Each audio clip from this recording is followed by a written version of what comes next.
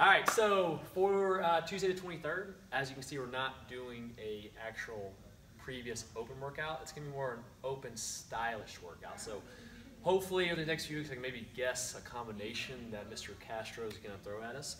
So just like 17.1 last year, you guys are gonna do an ascending ladder. So yes, I am tricking you to do Karen, but a crappier version of it. Um, so you'll do alternating dumbbell snatches. So it'll be one, two, so on and so forth for 10. 10 wall balls. 20 and 20, 30 and 30, 40 40, 50 and 50. Um, obviously here guys, we've done a lot of reverse where it's descending where it's 50 down to 10.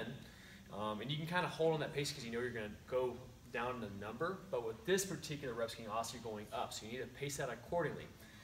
With the dumbbell snatch, it's obviously going to be way quicker to change in the air. And also the new standard is you're going to have to change from the face down and both heads of dumbbell have to make contact with the floor. So just be aware of that.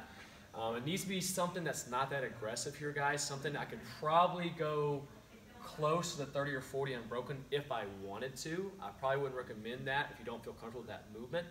Um, but it needs to be kind of a moderate load, and the wall balls needs to be break, broken down to relatively quick rep scheme. So you could hold 10s all the way across the board, but you need to manage your rest periods where you're kind of keeping under that 10 second window. Um, the biggest thing here is to stay moving and break it up accordingly. Don't come to the gate too hot and then blow up in the round of 40 here.